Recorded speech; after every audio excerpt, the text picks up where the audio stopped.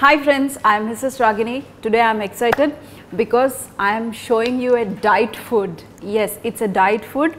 When you are dieting, you know, we like to cut down our calories and you know, we want to eat light food and less oil. So, for those people who are dieting, today is for them. This is made with lobia. Just a simple lobia fry.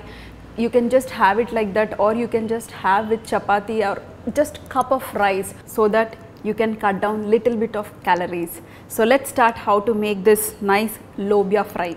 So today I am using this lobia, this is a brown color, you can call this uh, black eyed peas also. I just soaked it overnight and boiled it by adding little bit of salt. So we are having this dry, so I want little bit grainy grainy. So I just boil it till it is nice 90 percent done, see like this. This is not too soft, not too hard, it's perfect. So keep aside, we can have just like this also. So here the pan is hot enough with less oil, just 1 teaspoon of oil. Now here the oil is little bit hot. Just add the cumin seeds, crushed garlic. If you want you can just chop it and add it also. Just cook just a little bit till you get this garlic little bit color and in this green chilies and now you can see the garlic has slight color when you have that garlic it tastes so yummy yummy. And now the sliced onions. And we are not going to cook this onions till it is soft. We are just going to cook it till it is nice crunchy crunchy. Add the salt. Be careful because we already added the salt while boiling our lobia. So add very little. And we are going to cook this onions till it is just done. So don't cook too much now add some curry leaves. So dear friends, see you can see this the onions are little bit soft, not too much cooked. Now we are going to add pinch of turmeric. If you want you can just add or you can skip also. I just want little bit color and in the last we are going to add the lobia, boiled lobia or you can call black eyed peas also.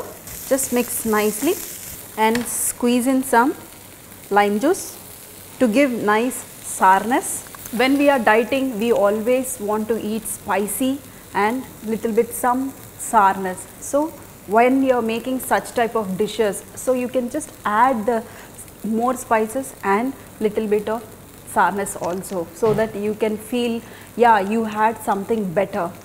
So dear friends this is ready in the last just sprinkle some chopped coriander and switch off the flame.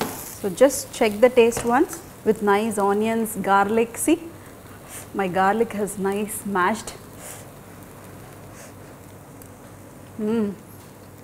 A little bit sourness and I can feel the garlic flavor and crunchiness from the onions. this is so so yummy. Dear friends, you can just have this lobia just like that without rice or roti.